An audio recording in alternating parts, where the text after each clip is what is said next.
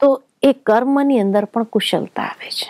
અને ભોજન બનાવતા હોય એની શું મનસ્થિતિ હોય? ભજન બનાવતી વખતે પણ અગર પરમાત્માની યાદમાં આપણે બનાવતા હોઈએ તો એ કર્મની અંદર ક્યારે પણ ત્રુટિ નહીં હોય. એ પણ ગેરંટી ભગવાને ગીતામાં આપે છે કે તું મારી યાદમાં રહીને હર કર્મ કરીશ તો એ કર્મમાં કોઈ દિવસ ત્રુટિ નહીં હોય. એટલું પરફેક્શન જેને કહેવાય. તો કર્મ યોગી બનવાથી હર કર્મ પરફેક્શન હોય છે. અને ભાવ પણ એમાં આવે કે કેટલા સાત જેમ કે કબીરજી કહેતા સાત્વિક કપડા વણતા તો એમ કે કે ગ્રાહકને કે તમારે લીએ બનાયા હે.